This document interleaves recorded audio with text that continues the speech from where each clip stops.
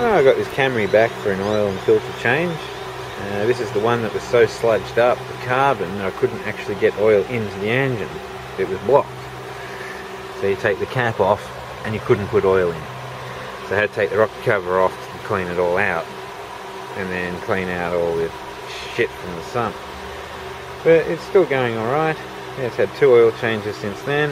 This will be its third one. I would have liked to give it a bit more, but you know. Uh, the rest of the car's alright. I've given an inspection about a month ago. Brakes and everything fine. So today will be a simple oil and filter change once it cools down. So, yeah.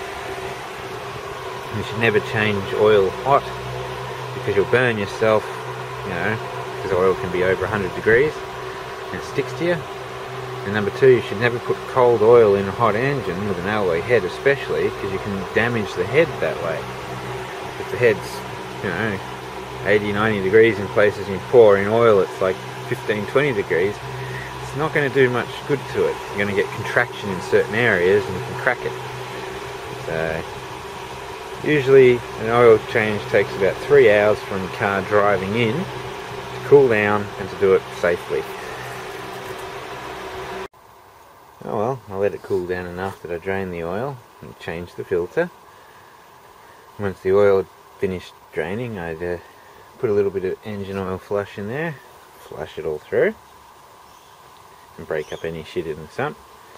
And then I poured a bit of fresh oil in just to rinse that out. And once that comes out nice and clean at the bottom, then I'll put the plug in and fill it up. And then you've done a nice oil change.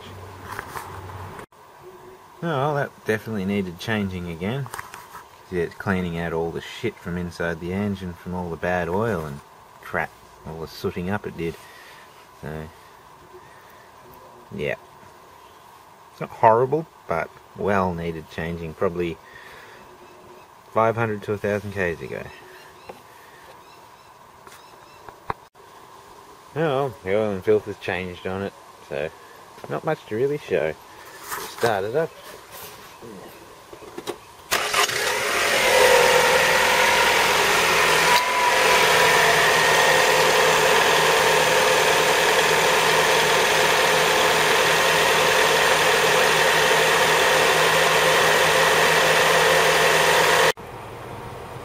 Well, it's still a little whiny from the cams, but it's heaps better than it used to be. This thing used to sound like a rattly tractor. So, it's much better now. So, always good to change the oil before it fucks your engine.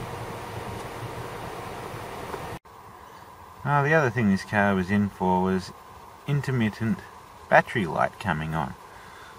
Uh, most people think the battery light means bad battery. The battery light actually is your charge light for the alternator. So if that comes on, that generally means you've got a faulty alternator or something wrong with the charge system. It has nothing to do with the battery itself. So this one I have not seen come on when it shouldn't come on. So I've just told them let it get worse. Because they said it just comes on every now and again for a few seconds and goes away. So it's probably faulty regulator or bad brushes. But it does everything it should do.